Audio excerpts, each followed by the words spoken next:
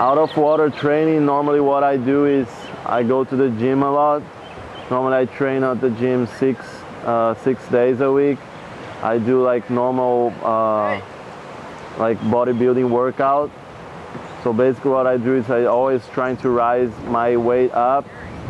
I try to rise the healthiest way I can. I try to eat very healthy, especially here when I'm here on Maui that the food is really good. I can buy really healthy food.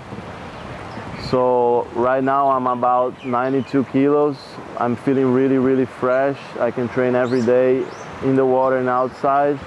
So it's really important to eat very healthy. You're gonna have more energy in your body and don't be scared to, to really train hard also outside the water. This is gonna make makes you really, really strong when you sail slalom. Make sure your core is very strong. Slalom sailing is really important to have a strong core. You're gonna, you're gonna hold the gear as strong as you can. That's gonna help you a lot for sure.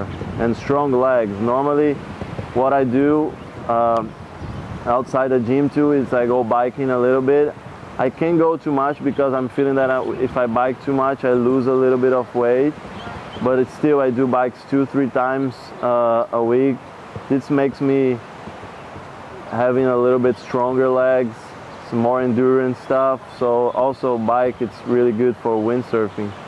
So make sure you do enough outside water exercise. That's gonna help you a lot for sure.